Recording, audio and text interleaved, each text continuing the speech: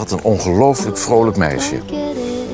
Ja, dat, uh, dat was ik wel, ben ik wel. Ben nog steeds? Ja. ja.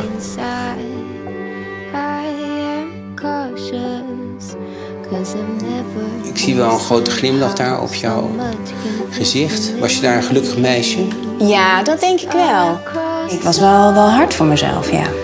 Het, uh, hetgene pakketje van alles perfect willen doen en, en bang zijn om te falen. En, en het dan allemaal moet gebeuren. En als het niet volgens plan ging, dan was je daarvan in de war. Ik tikte wel de, de, de vakjes aan van, van mensen die gevoelig zijn om een eetstoornis te krijgen. Uber bent opgegroeid, dat die hele periode overschaduwd wordt door dit. En dan is het toch ook, en dat meen ik serieus, een van de belangrijkste en mooiste periodes van mijn leven geweest.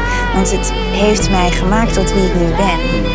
En dan horen de donkere kanten misschien juist veel meer bij je dan als alles maar goed gaat.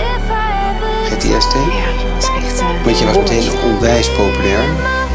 Ja. En als je zo jong bent, dan, uh, dan maak je wel wat mee.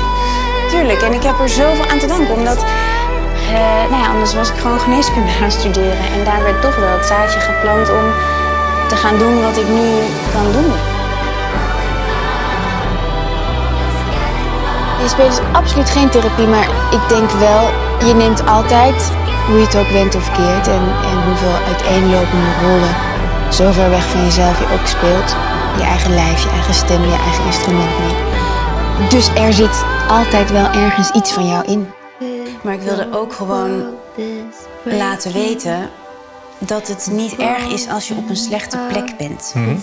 En dat je eruit kunt komen. Het is belangrijk om tegen elkaar te zeggen: Ik zie jou, ik geloof in jou, jij kunt dit.